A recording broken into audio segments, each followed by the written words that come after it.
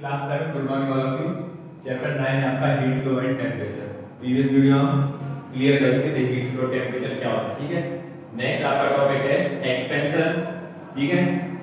When पहले आप एक एक्सपेंशन का एग्जांपल लेते तो क्या आता है?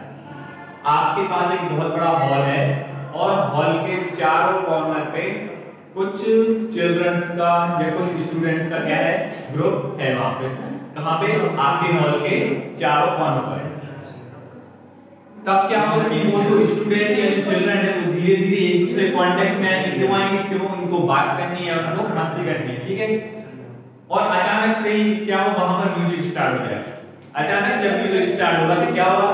वो जो कॉर्नर में चिल्ड्रंस खड़े हुए हैं, वो डांस करना चालू कर देंगे और पूरे हॉल को क्या कर लेंगे वो कवर कर लेंगे। इससे क्या होगा कि जो आपके कॉर्नर में स्टूडेंट उन्होंने क्या कर लिया पूरे हॉल को क्या कर लिया कवर कर लिया और वहाँ पर क्या करने लगे? डांस और म्यूज़िक स्टार्ट कर दिया उन्होंने। तो सेम प्रोसेस आपकी एक्सपेंशन की होगी जो हमने अभी आपको एग्जांपल दिया, वही।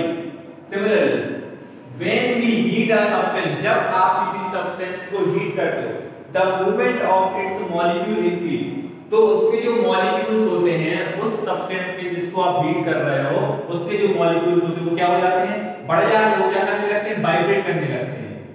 This increase the average distance between the molecules तो ये क्या करते हैं? जो उन मॉलिक्यूल्स के बीच की डिस्टेंस है मतलब जो कॉर्नर के स्टूडेंट आप समझ रहे हो, वो क्या है आप मॉलिक्यूल्स तो वो मॉलिक्यूल्स एक दूसरे के कांटेक्ट में आएँगे मतलब एक दूसरे के पास आएँगे। Therefore the space occupied by the molecule फिर उस सब्सटेंस में जो मॉलिक्यूल्स स्पेस ऑक्यूपाइड करेंगे मतलब वो उस सब्सटेंस में स्पेस को कवर करेंगे this is the volume of the substance और उस सब्सटेंस क्या कहलाएगा? उस सब्सटेंस का क्या कहलाएगा? वो जगह जो उन्होंने ऑक्यूपाइड की वो क्या कहलाएगी उसकी? वॉल्यूम कहलाएगी। We say that heat causes expansion और इस कंडीशन में इसको क्या बोल सकते हैं कि हीट क्या करती है? एक्सपेंशन को कॉज करती है। ठीक है? आइए समझ में।